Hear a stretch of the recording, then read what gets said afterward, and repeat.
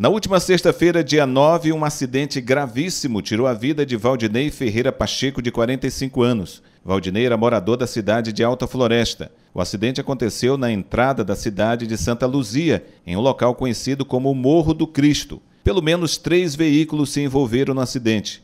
Nessa terça-feira, a mãe de Valdinei também faleceu.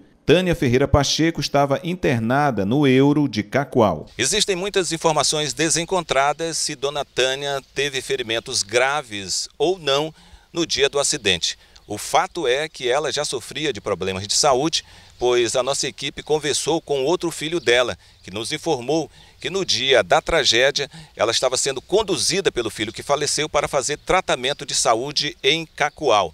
E talvez ela não tenha resistido aos traumas e também à notícia do falecimento do seu filho, e aí ela acabou falecendo nessa terça-feira. O carro em que Tânia e seu filho iam foi atingido por uma caminhonete Amarok, que, de acordo com informações, teria perdido o controle ao bater na traseira de uma caminhonete Hilux. No choque, Valdinei ficou preso nas ferragens e não resistiu aos ferimentos, vindo a falecer no hospital em Santa Luzia. Tânia foi socorrida ao hospital.